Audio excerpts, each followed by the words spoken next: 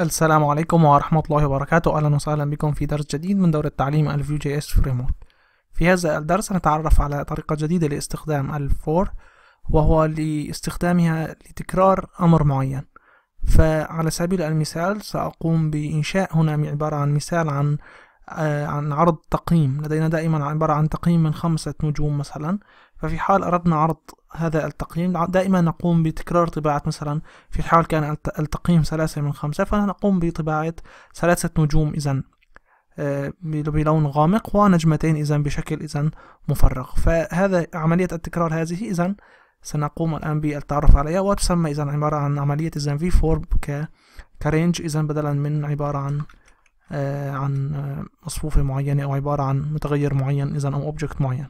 فهنا إذا سنقوم بإنشاء هذا المتغير الذي يحتوي على التقييم. فلدينا إذا عبارة عن ريت وهو إذا ثلاثة بهذا الشكل. الآن هنا في الأعلى سنقوم بكتابة إذا لدينا هنا إذا عبارة عن ممكن أن أستخدم تمبلت في حال لا أريد أن يكون هناك أي HTML في الأوتبوت يصبح الأوتبوت عبارة عن text فقط. فسأكتب إذا v dash for يساوي إذا عبارة عن item in.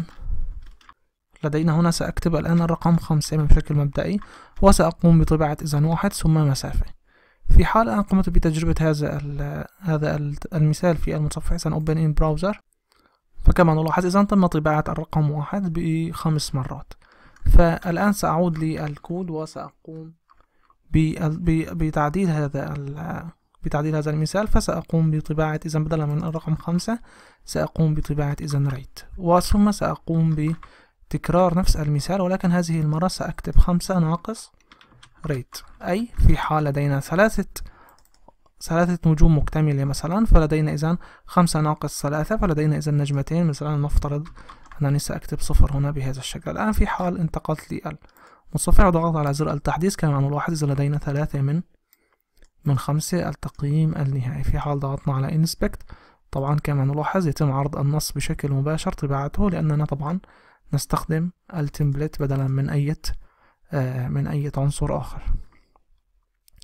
وفي حال أردنا طباعة نجوم بشكل حقيقي ممكن أن نستعين ب framework للأيقونات وهو ال Font Awesome وسندخل إلى Font Awesome dot io slash icons وثم سنقوم ب الاستعانة بالأيقونات الموجودة لدينا هنا. إذا لدينا هنا star كما نلاحظ لدينا هذه هذه إذا star ولدينا هنا النجمة star dash o النجمة الغير مكتملة فممكن هنا أن نقوم بكتابة إذا span مثلا بهذا الشكل بدلا من template وهنا أيضا بشكل مشابه.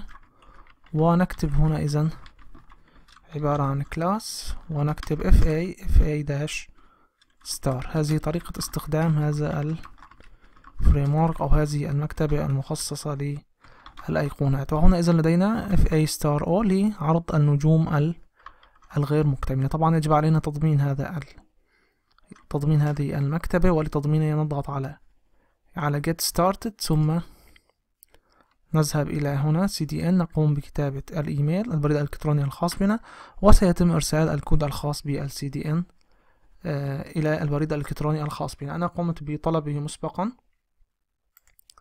فسأقوم باستخدامه مباشرة هنا في هذا المثال. فسأعود الآن إلى الكود وسأضعه هنا في الأعلى إذا control V بهذا الشكل.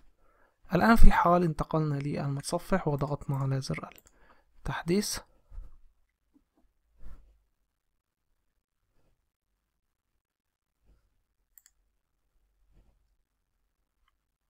عفوا لدينا مشكلة على يبدو. كان لدينا مشكلة مع الاتصال في الإنترنت الآن قمت بإعادة تحديث الصفحة وحصلت على هذه النتيجة. لا يوجد لدينا أي مشكلة في الكود الذي قمنا بكتابته. الآن سأعود لل هنا لهذا الكود وسأقوم بإلغاء هذه الكتابة الموجودة لدينا هنا. الآن في حال عدنا للمتصفح وضغطنا على زر التحديث. كما نلاحظ إذن إذا حصلنا على هذه النتيجة. طبعا يوجد لدينا مسافة صغيرة هنا. ممكن أن نقوم بإلغائها عن طريق عن طريق مثلا آه، وضعهم بهذا الشكل. وأضغط على زر التحديث مرة أخرى. إذا لدينا التقييم ثلاثة من خمسة ولا يوجد لدينا إذا أي مشكلة. طبعا في حال أحببنا ممكن أن نقوم بإنشاء input وعمل إذا في داش موديل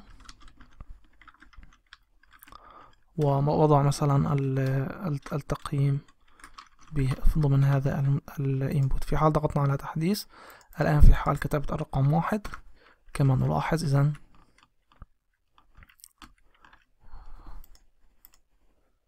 هنا مع الرقم اثنان على ما يبدو على ما يبدو يوجد لدينا مشكلة معينة. سأنتقل هنا إلى ال Vue لدينا هنا التقييم اثنان كما نلاحظ.